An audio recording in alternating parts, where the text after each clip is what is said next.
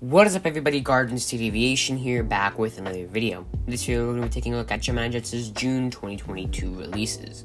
Let's start with the 1 to 400 models. Now, as you guys may see, Gemini Jets have once again raised their prices to a ridiculous height.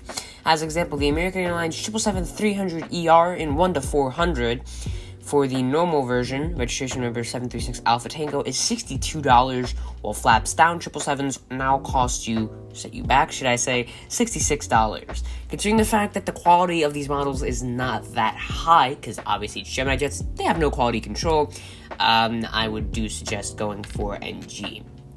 Anywho, continuing on, we have two more 777-300ERs that Gemini Jets can force you to pay ridiculous amounts of money for.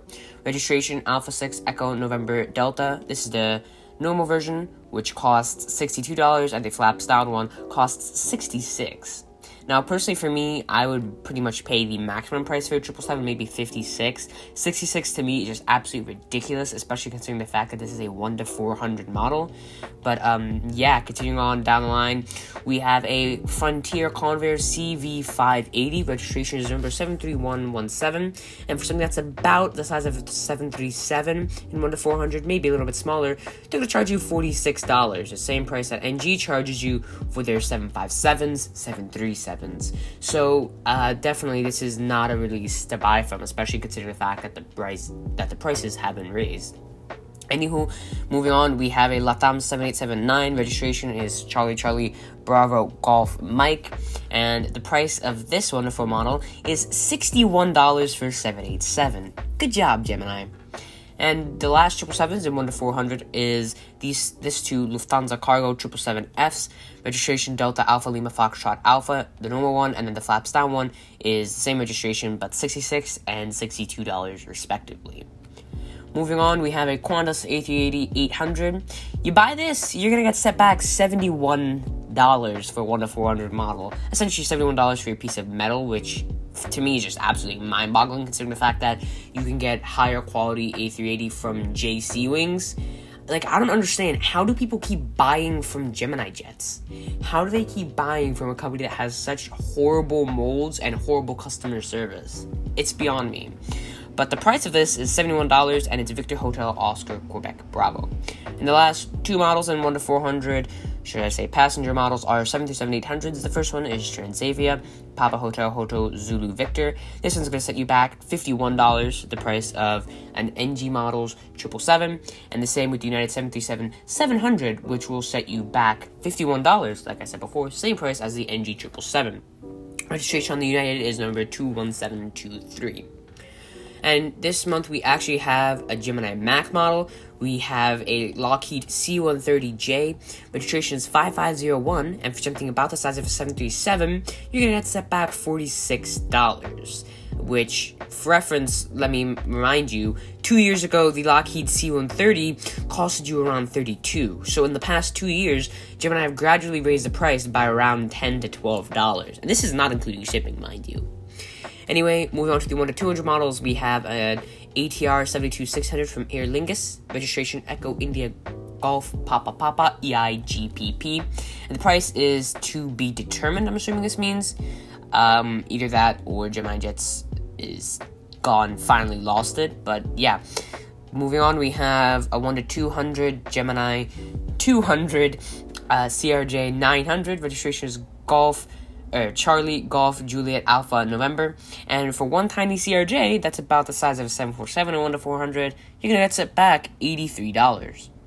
Then we have an Alaska E170 LR. Remember, 186 Sierra Yankee is the registration, and it's $92. And then we have a Fokker F70 Victor Hotel Quebec Quebec whiskey. This was actually released a few months ago in 1 to 400, and the price of this is 80 $3, which this is just ridiculous at this point. Like, how much is Gemini? How high are they going to keep raising these prices? Like, to be honest, I haven't bought a Gemini Jet model since last December because, quite frankly, it's too expensive and the quality is just non comparable to other companies such as NG or even JC, which is a sub, which is really just Gemini Jets but rebranded. Anywho, continuing on, we have a American Lockheed L1088. Registration is number 6118 Alpha. This was also released a few months ago, and this one, the price is to be determined. Then we have a Braniff 727 200. The registration is number 4608. 460 Bravo November, and it's $101. Then we have a DHL 777F. Same thing with the price increase. This one is open, and optional doors open slash closed. Registration number 774 Charlie Kilo. It's $160. Moving on, we have an Emirates A380 800. Registration is Alpha 6 Echo Uniform Victor. $192. Now, just let me remind you that two years ago, the same Emirates A380 uh, Gemini Jets releases one or two of them, one to two hundred per year. This Gem, this uh, Gemini Jets one to two hundred A380 just two years ago in 2020, even during the pandemic, costed one hundred and fifty six dollars, which forty dollars is not justified. Anyway, we have a Lufthansa CRJ 900. The registration on this is Delta Alpha Charlie November Delta, $83.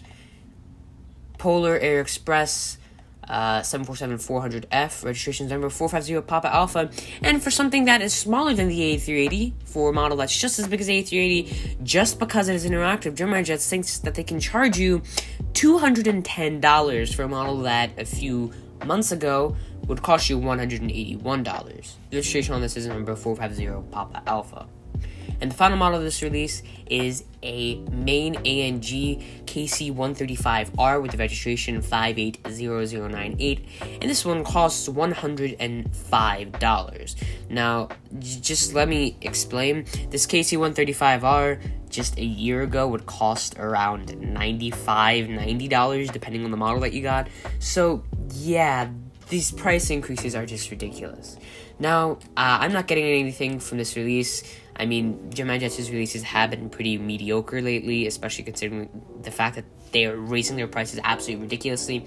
And to be honest, I don't even think that I'm gonna buy from Gemini Jets ever again, because honestly, sixty-two dollars for a triple seven, fifty-one dollars for seven through seven seven hundred, and for just horrible quality too.